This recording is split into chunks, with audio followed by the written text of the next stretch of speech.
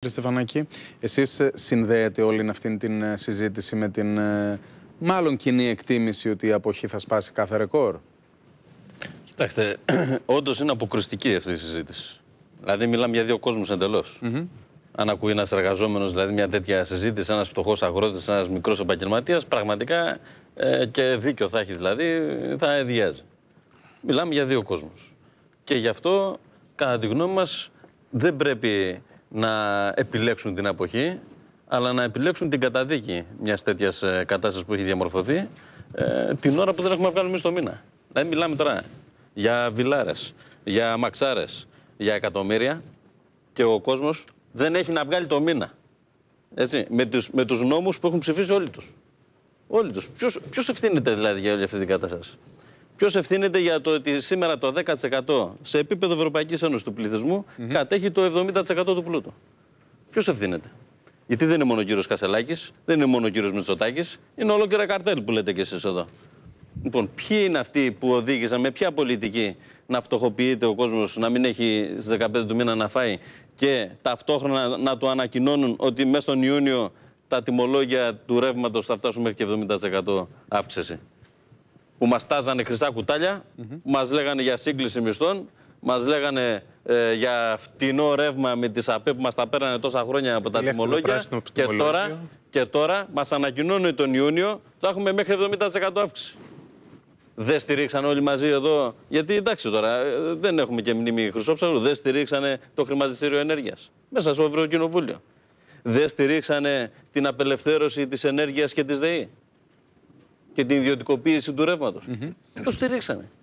Λοιπόν, και συζητάμε τώρα αν ο Κασελάκης έχει 2 εκατομμύρια ή αν ο Μητσοτάκης έχει 3 εκατομμύρια. Τι μας νοιάζει εμάς τώρα; Αυτό. Αυτό μας νοιάζει. Γι' αυτό λοιπόν η ψήφος στο ΚΚΕ και δεν μπορεί να παρερμηνευτεί. Άρα αυτός που σκέφτεται την αποχή πρέπει να το βγάλει από το μυαλό του, γιατί υπάρχει επιλογή να εκφραστεί αυτή η διαμαρτυρία, η διαφωνία και προφανώς να μετατραπεί σε δύναμη στους αγώνες που πρέπει να ε, οργανώσουμε το επόμενο διάστημα εμείς οι εργαζόμενοι, οι φτωχοί αγρότες και επαγγελματίες, γιατί μόνο έτσι, μόνο έτσι μπορούμε να πάρουμε ανάσα. Και αυτό έγινε σε πολύ μεγάλους χώρους δουλειάς που υπογράψαμε συλλογικές συμβάσεις με αυξήσεις μισθούς, με δικαιώματα. Εκεί πήραμε ανάσα. Και, και αν μου επιτρέπετε να συμπληρώσω. Καμιά Ευρωπαϊκή Ένωση, καμιά κυβέρνηση δεν μας χάρισε τίποτα. Το αντίθετο. Μας τα παίρνουν.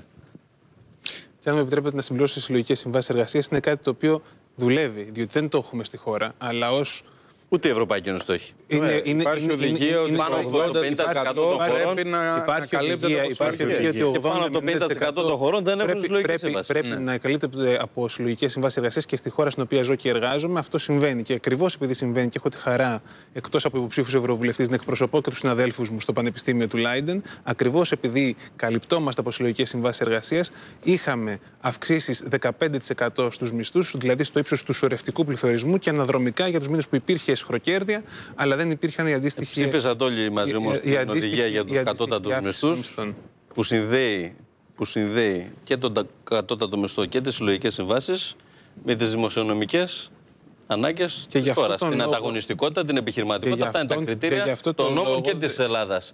Βρούτσι, Αχτσιόγλου. Και γι' αυτό το λόγο. Για να γίνει υποχρεωτική εφαρμογή μιας συλλογική αναδιαπραγμάτευση.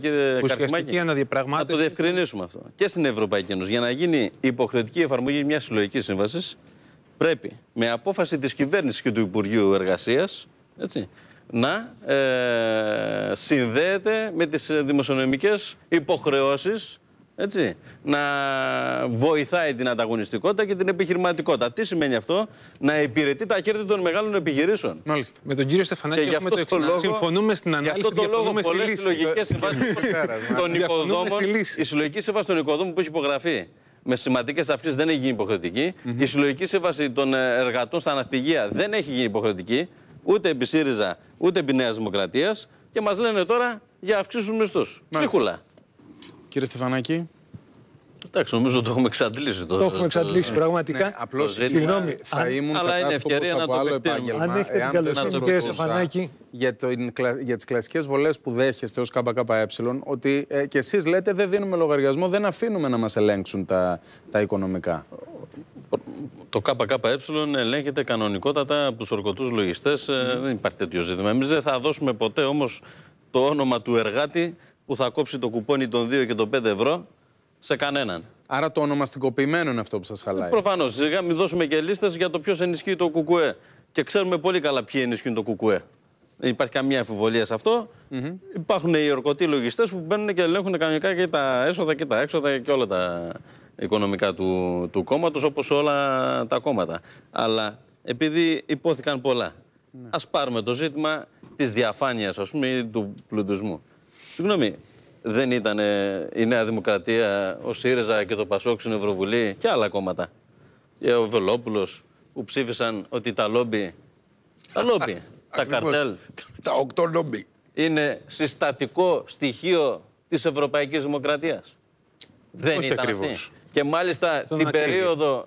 Την, δεν θυμάμαι και ακριβώς αν ήταν οι ίδιες ημέρες που η κυρία Καηλή πιάστηκε στα πράσα μαζί με άλλους ευρωβουλευτέ. Το οποίο ψηφίστηκε στο Ευρωκοινοβούλιο. Συγγνώμη, δεν ήταν έτσι. Της, ε, δεν μιλάμε δηλαδή αυτή, για ποια διαφάνεια συζητάμε αυτή τη στιγμή; Είναι, είναι Εδώ μιλάμε για ένα μηχανισμό των λόμπι.